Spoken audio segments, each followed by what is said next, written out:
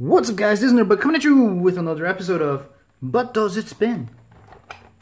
And today we'll be opening something that is not Beyblade, but that it's kinda like Beyblade. And today we'll be opening this. Um, some of you may know what this is. It is a UFT Ultimate Fighting Trashies, and it is from the Trashies uh, toy line. Um, there's a lot of toys like that nowadays. I think groceries and and uh, other weird stuff. I wasn't. I was never too into it until I saw this, which does have spinning spinning battles. I think that is fantastic. As you can see, it does come with an arena, which I can already see that is not that great of a quality. It is a thin plastic, much worse than any any Beyblade arenas that I have ever opened. It does come with a launcher and a spinning little monster that goes inside. Um, any toys that have their own launchers and their own spinners, I think is fantastic. They're not just trying to copy um, Beyblade. They're not just trying to copy other toy lines. Um, things like this, I think, is fantastic. They made their own thing. Kudos for them. That's always a positive point. Um, we'll be opening that today, and uh, just to show you, I do have a few uh, other pieces of that toy. This is the launcher. Um, they do come in like a starter set, which comes with a monster and a launcher, and uh, they do have trash packs, which come with like a bunch of trashies um, for you to add to your collection. I did buy a bunch of used ones um, from a, from a person, and they did send a lot of launchers and a lot of monsters. Um, but here's the kicker: you do need this this little piece um, for them to work in the launcher. If you only put the monster here, it doesn't it doesn't fit. You do need this little little peg to put in the in the hole. um, um, for them to fit like this. Um, that said, the person only had three of these. So even if you buy used, keep in mind that you do need this piece. A lot of people lose them. So if you buy uh, like a bunch of these from someone else um, that had it, make sure they have a few of these at least, or you'll end up not being able to play it. Um, the person that I bought it from only had three of these, despite him having more than eight launchers. So I can only practically use three launchers at any given time. And now, because I have the, the arena, that is four. Um, this is a toy that is from, I believe, 2014, 2015 or so. So at least here in Brazil, it is getting harder to find them. They were never too popular, I guess. Um, there is a lot of uh, trashies and stuff um, around, but the UFT version, which is this spinning battle thing, um, itself it wasn't too popular, I guess. Um, so it is harder to find. Even used is hard to find down here. I'm sure in the States it is a lot easier to find. But yeah, they're cool, definitely cool. But do they spin? Let's check it out.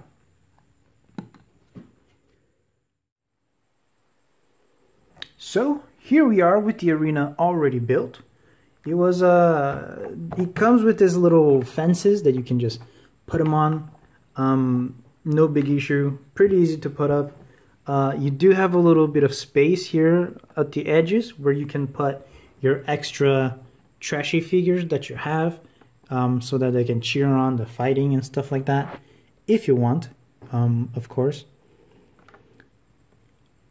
And one thing though that I noticed is that the arena itself is the plastic is a little thin, is is quite thin actually, um, much thinner than any Beyblade arenas that I've seen, even from the from the third party arenas.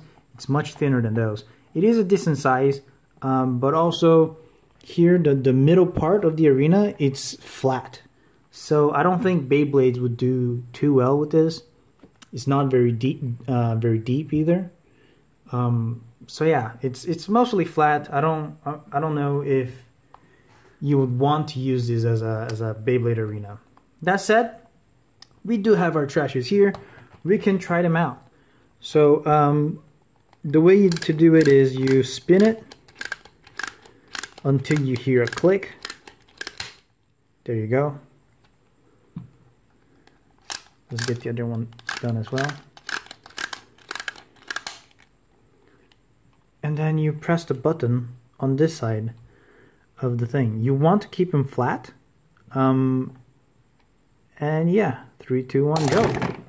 Oh, one of them fell. Oh. So one of the figures already fell, and the second one fell as well. Um, you can hear the sound of them hitting each other. It is a lot, a lot stronger than I had expected. They do spin a lot harder. This guy did fall straight up again.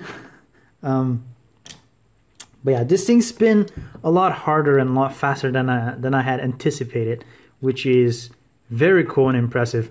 But the burst um, when they hit each other is almost immediate, so it's not like a fight that will last on for you to cheer and anything. And um, as as I said before, once they fall over, you do see the number that is up to see who won. Um, we'll say, oh, he just turned himself on three, so maybe he lost. Uh, but when he when he had fell over the first time, we should have looked what number he was on. Um, but yeah, it's a it's a fast play game, I guess. We can try the other ones that we have.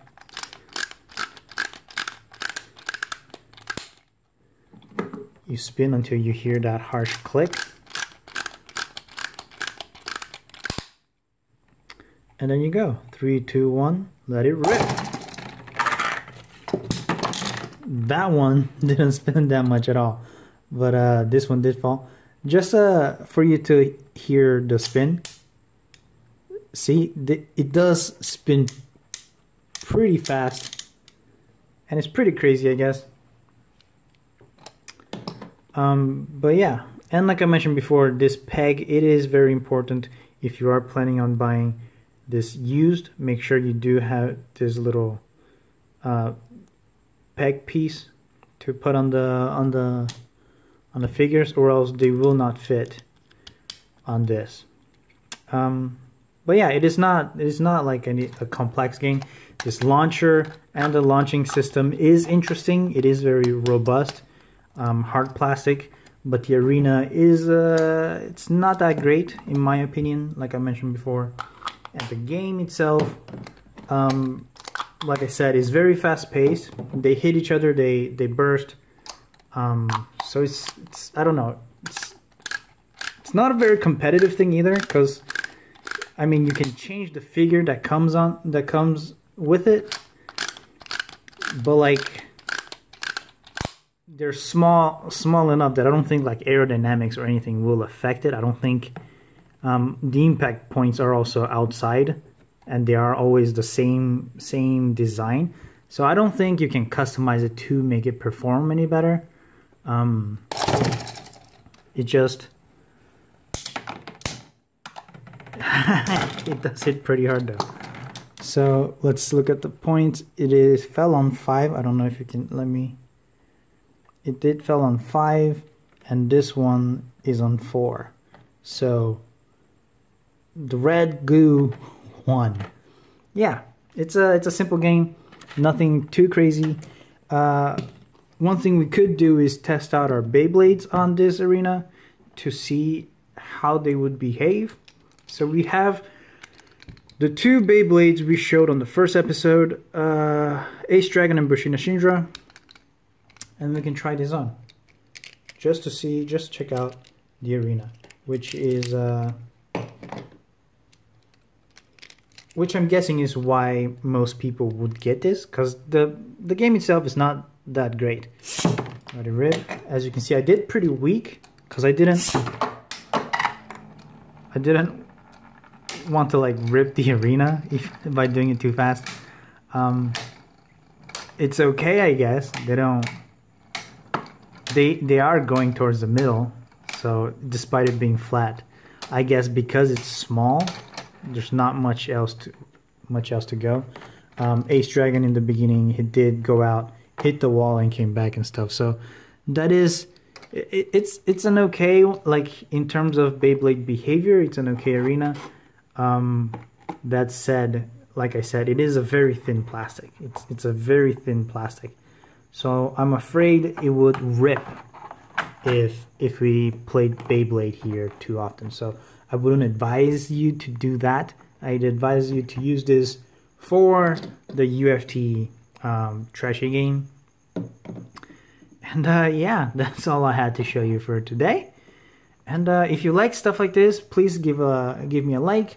Um, you can subscribe for more contents like this. In this series, like I showed you before, we are um, mostly playing around with Beyblades and stuff that resemble Beyblades, anything that spins. So if you're into that sort of things, stay tuned because we got a lot more content coming your way. So see you next time, and remember guys, always nerd on.